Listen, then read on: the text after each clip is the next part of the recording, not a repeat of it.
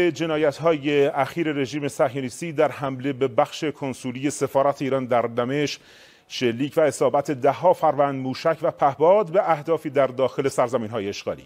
سپاه پاسداران انقلاب اسلامی در اطلاعیه اعلام کرد در پاسخ به جنایت های متعدد رژیم صهیونیستی از جمله حمله به بخش کنسولی سفارت ایران در دمشق و شهادت جمعی از فرماندهان و مستشاران نظامی کشورمان در سوریه نیروی هوافضای سپاه اهداف معینی در داخل سرزمین های اشغالی را با شلیک دهها فروند موشک و پهباد مورد اصابت قرار داد.